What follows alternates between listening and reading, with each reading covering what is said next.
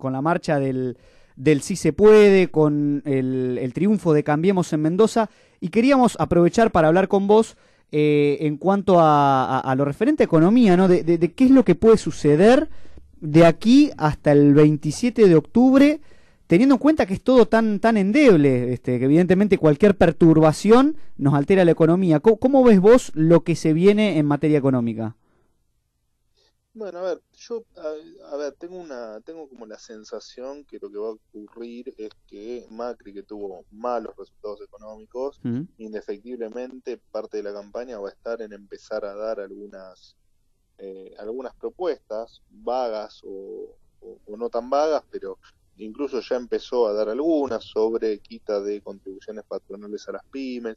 Me parece que de parte del oficialismo vamos a empezar a ver eso de acá hasta el 27 de octubre, ¿no? Algunas propuestas como para eh, que la gente pueda entender que puede venir alguna algo mejor en la economía en el caso de que gane más. En el caso de Alberto Fernández me parece que la situación es más compleja porque creo que tiene claro que Argentina así no puede seguir con esta presión fiscal, con esta cantidad de empleo público, con este tamaño del Estado, eh, con toda...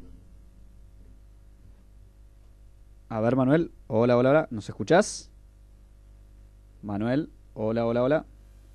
Hola. Ahí, ahí está, ahí, te retomamos, ahí te retomamos. Sí, sí, decías, decías. Eh, te decía que, con, que en el caso de Alberto Fernández es más complicado porque saben, él sabe muy bien que Argentina así no funciona. Mm, claro. Entonces, en esa en ese contexto me parece que sabe lo que tiene que hacer o en tal caso eh, cuál es el camino que tiene que tomar, pero no lo va a decir porque políticamente no le no no no le es redituable, ¿no? Porque creo que su base de votantes no estaría de acuerdo con muchas de las, de las medidas que debería tomar para empezar a encauzar este país. Así que me parece que no vamos a ver mucho de acá las elecciones, me parece que vamos a ver alguna que otra propuesta perdida por parte del oficialismo y me parece que no mucho más que eso. Creo que hasta el 28 de octubre, hasta ese primer lunes después del resultado electoral, no vamos a tener o no debería haber grandes novedades en materia, en materia de medidas.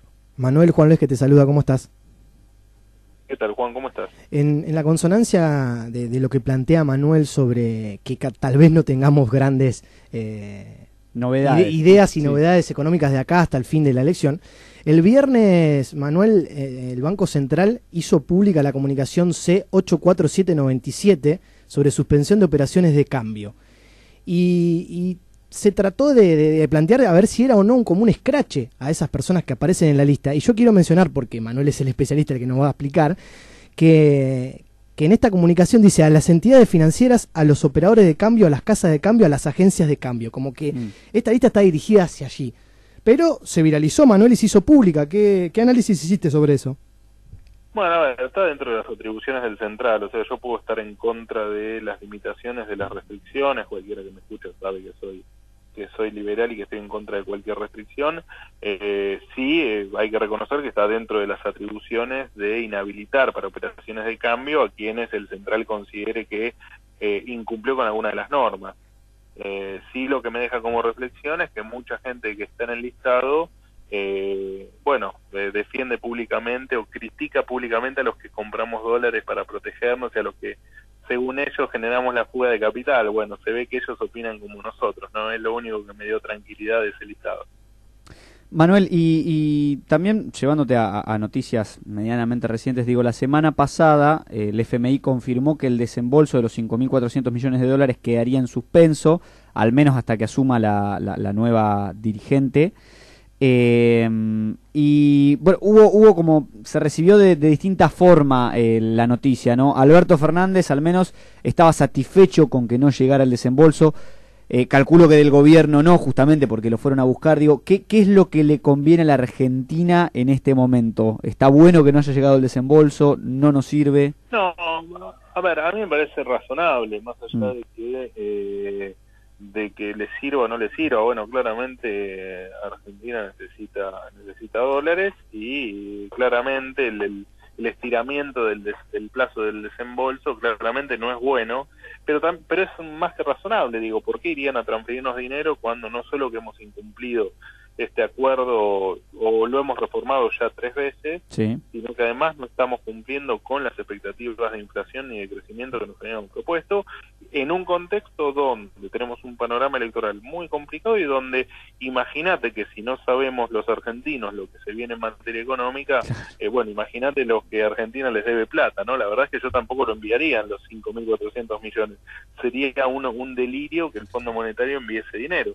Eh, y bueno, siempre me pareció lo mismo y ahora lo que estamos viendo es que ese desembolso, si bien en tal caso, lo, lo, esperaremos para noviembre y veremos también qué pasa, porque como vos bien dijiste al principio de la entrevista, esto es un, es un día a día y cualquier cosa que se diga, que se haga o que se mueva, te va a influir en la economía, te va a influir en las elecciones y te va a influir en temas como este, ¿no? Como en, como en, el, tema del desembolso del Fondo Monetario. Manuel, y teniendo esto en cuenta, digo, eh, hay gente que, que, dice, bueno, ya era hora de que el FMI se diera cuenta de que eh, justamente no éramos, este, no nos debía prestar plata y que, que incluso, bueno, rompió o, incumplió varias cláusulas de su estatuto en, cuanto a los préstamos que le hizo a la Argentina. Digo, eh, ¿se podría haber dejado de prestar el FMI algún tiempo antes o está bien que sea ahora, en este momento y con estas condiciones? Bueno, yo creo que el, Fondo Monetario, la mitad del Fondo Monetario está manejado por Estados Unidos y ahí ya entran cuestiones que exceden a la parte económica, ¿no? Me parece que desde la geopolítica a Estados Unidos le convenía que Macri tenga los fondos suficientes como para eh, intentar la reelección y que no vuelva al modelo populista, o un modelo más populista que ellos en tal caso. Así que eh, lo del fondo me parece que es eh, que lo que pasó desde lo político fue lo razonable. Eh, por supuesto que es un delirio prestarle a un país insolvente eh, 50 mil millones de dólares, un país que no crece hace nueve, nueve años, ¿no? Está claro que hay una inconsistencia en la decisión muy importante. Ahora, si el Fondo Monetario Internacional, hay que entender esto, si el Fondo Monetario Internacional no nos prestaba el dinero, eh, hubiésemos terminado mucho peor de lo que terminamos. Y eh, eso me parece que hay que tenerlo claro porque acá todos estamos todos cuestionamos el endeudamiento pero nadie quiere eh, achicar el estado. Entonces estamos como eh, somos una sociedad que no sabemos bien lo que queremos y que criticamos mm. todo pero que no actuamos en consecuencia Manuel hoy por boletín oficial salió el decreto 668 2019 de, del gobierno obliga a todo el sector público a tomar letes digamos eh, a destinar sus ahorros de manera exclusiva a letras del Tesoro. ¿Cómo podés explicar eso si leíste el decreto y, qué impacto puede llegar a tener esta medida que toma el gobierno?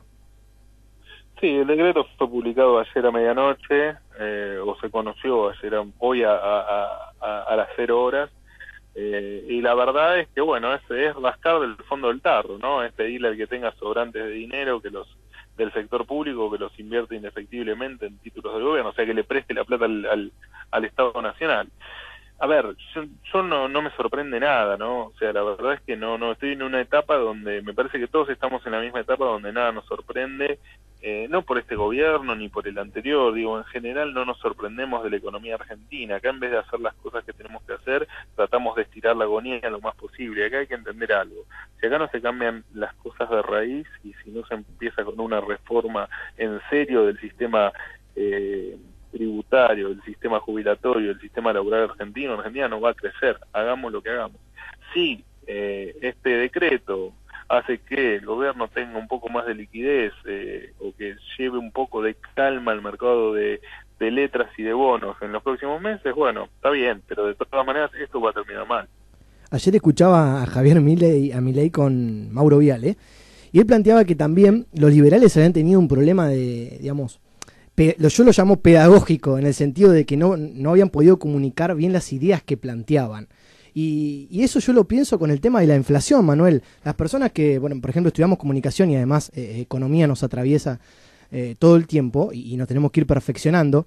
De hecho, yo siempre digo que, a veces las crisis económicas me acercan a leer libros de economía, porque tal vez si no uno eh, dice, bueno, no, para eso están los economistas y, que nos pase por el costado. Y la verdad que es un, grave problema. Pero digo, ¿cómo puede ser, Manuel, que no nos pongamos de acuerdo de cómo se maneja? el gradualismo de, la baja de la inflación, digamos, el tema de la inflación. Acá hay dos modelos de país que en las elecciones, por ejemplo, las paso de agosto, fueron el 80% de los votos de, los argentinos y que hablan de dos cosas totalmente diferentes para bajar la inflación. Eh, ¿qué, ¿qué, pensás vos de eso, digamos, que no tengamos algo claro? Es que yo creo que no tenemos nada claro desde hace, o sea, más allá de estas elecciones, ¿no? Vos fijate que estas elecciones lo que elegimos fue entre los últimos cuatro años, que claramente, al menos en lo económico, fueron un fracaso, o entre los 12 anteriores, ¿no? Donde tenías el INDEC intervenido, o sea, donde no tenías estadísticas, donde tenías un cepo cambiario muy brutal, donde eh, tenías tres cadenas nacionales por día, donde el vamos por todo, donde te comiste el superávit energético, donde destrozaste el ANSES, o sea, y los argentinos somos así, ¿no? No eh, tanto el Macri como Alberto Fernández deberían haber sacado en un país normal cero votos, y acá se llevaron, como bien vos decís, el 80 o el 82% de los votos de la gente. Y bueno, la verdad es que no sabemos hacia dónde vamos, ¿no? Cada cuatro años nos debatimos si somos un poquitito más capitalistas y nunca llegamos a hacerlo, o si somos un poquitito más socialistas y después en el medio nos quejamos, nos quejamos y nos seguimos quejando.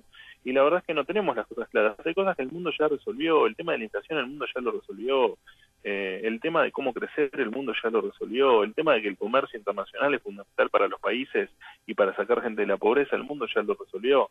Nosotros seguimos con discusiones del siglo XX y no nos enteramos que estamos en el siglo XXI.